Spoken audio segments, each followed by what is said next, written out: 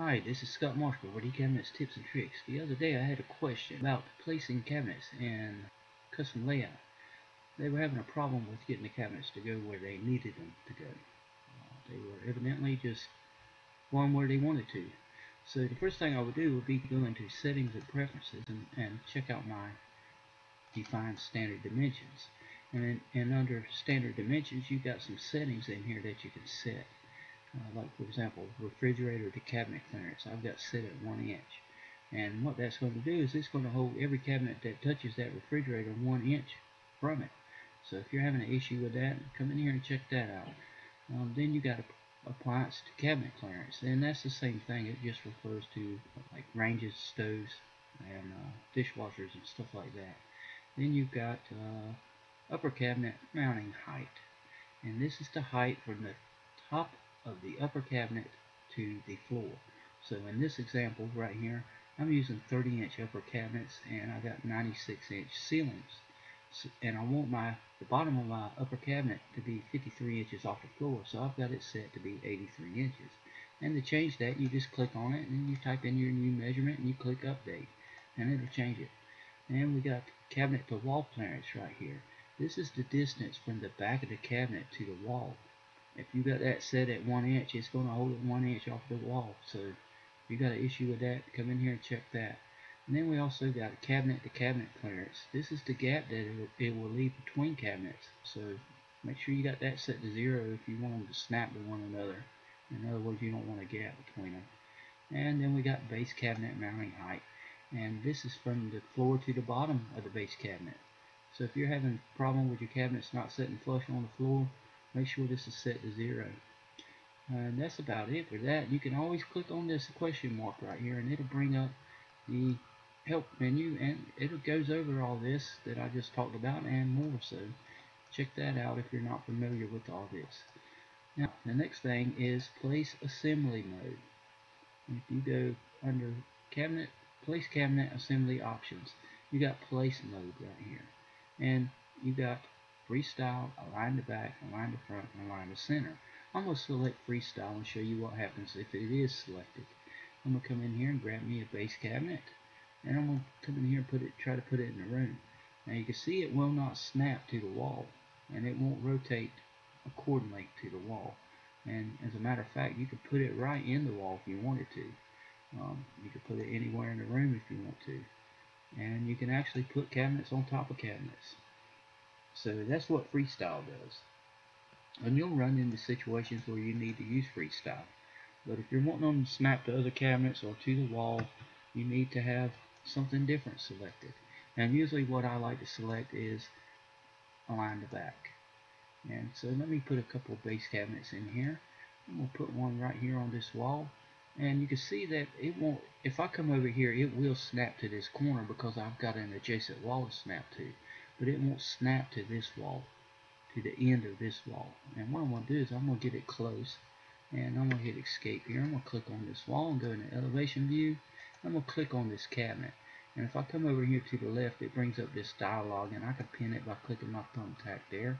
And I'm going to type 0 in the left there, and that's going to put it close to the edge of that wall.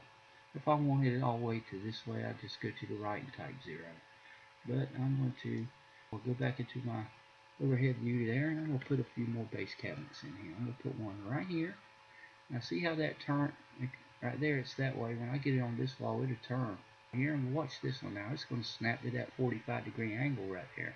If I keep going over it's going to try to snap to the back of that cabinet and I don't want that. I want it on this angle. So there's that. And notice how it stays on a 45 degree angle. If I want it to go this way then or this way I can get it on that wall and then I can come out here and just put it in the middle of my room if I want to. I'm going to stagger these here because I'm going to show you something. First thing I want to do is deal with these two cabinets. I want the front of these cabinets to line up in the corners here. So I need to know the distance I need to pull each cabinet. I just hit my delete key right there and deleted that cabinet. Let me put it back put you right there.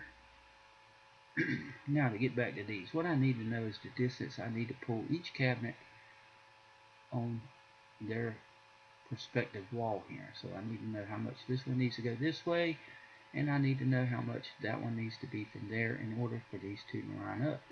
And to do that, I'm going to use my octagon calculator. Now, if you haven't viewed my video on how to make this thing, be sure you check it out because it comes in handy for more than just octagons.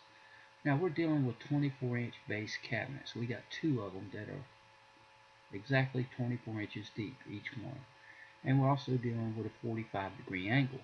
So I can use this calculator to calculate the distance I need to pull off of each wall. In this case, I just typed in 24 right there, and I need to, this line length right here is telling me it needs to go over 9 and 15 sixteenths. So I'm going to copy that, and I'm going to go back into eCabinets, and I'm going to click on this wall, and under elevation, I'm going to do basically the same thing that I've done on wall 1 there. I'm going to click on my cabinet, and I'm going to go from 0 to 9 and 15 sixteenths.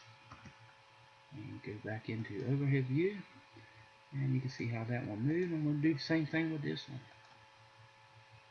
Click on U, and I need to go to the left, 9 and 15 sixteenths.